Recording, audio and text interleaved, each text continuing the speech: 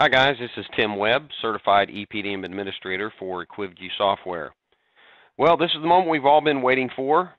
This is where we provide the solution to our EPDM February challenge to win a free copy of Atlas, our mobile reporting tool for SOLIDWORKS PDM.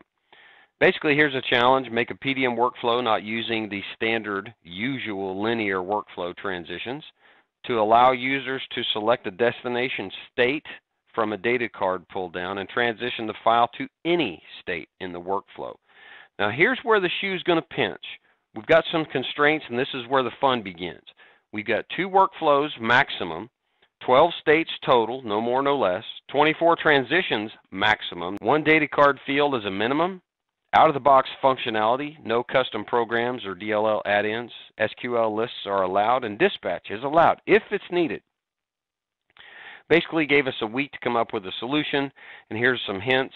We have a pull down list on the data card that allows you to select the destination state you want to send the file to. And then down below we've got a small snippet of a workflow that shows our solution. Inside PDM in this one folder we've got some XML files that are in various states. On the data card, we have a pull down that represents an SQL list that queries all of the states available in that workflow.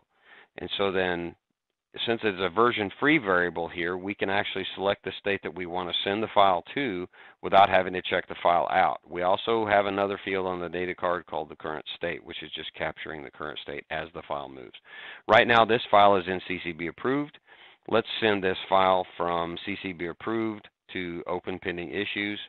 We select the state that we want to go to. We select save on the data card. And then we right click, change state, send it to routing. On the transition dialog, we can put in a comment like send to pending issues. And it's also going to try to transition all of the files that are attached to this, this certain file. Now the file has transitioned to open pending issues.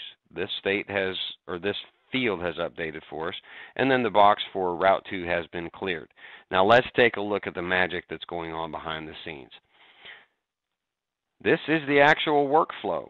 We've got all of the states that we were talking about a moment ago, created, canceled, CCB approved. All of these states are all sent to a workflow link to a separate workflow that's going to send the file back over to this workflow. Each of the transitions are the same name, so that way we only see one transition name in the change state menu. And then each transition has a condition that makes sure that the CR underscore routing text is bigger than zero. That's to make sure that the user actually selected a destination state. Let's take a look at the other workflow where these routing transitions send it. This is the simple part.